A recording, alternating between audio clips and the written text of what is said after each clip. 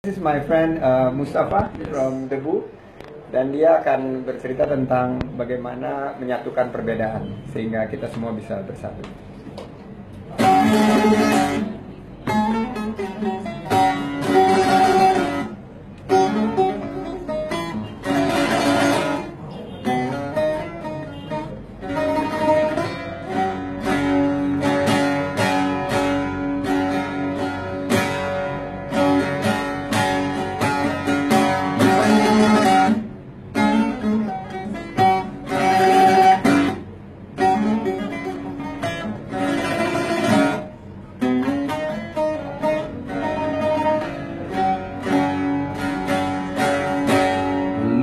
Dan perbedaanku